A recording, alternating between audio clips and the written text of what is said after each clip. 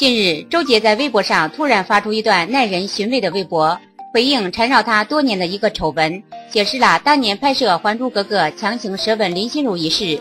微博中说道：“如果现场强行舌吻他，为什么他不立马反抗？毕竟现场那么多工作人员，反而却事后在节目中爆出这一件事情。时隔这么多年再来否认这件事情，是真的忍无可忍，还是另有阴谋？”周杰微博中不仅否认了。强行舌吻林心如，还给网友们带到另一个节奏中，就是微博中提及的为何多年前的事情，台湾媒体还要拿出来反复说。最后这段视频还被传到大陆，让大陆的观众们看到，而大陆的那些土老帽们居然还相信。这起事件立马升级到台独问题，周杰言下之意林心如有台独倾向，但是随即林心如工作室也立马做出了回应，转发了十二年人民网发布的一条就日本要买钓鱼岛。明星联合声明支持国家的微博，并说道：“品行自在人心，多说无益，带节奏的就不要约了。”但是真真假假已经分辨不清。不过周杰的确有点带偏节奏，害得林心如被网友们骂惨。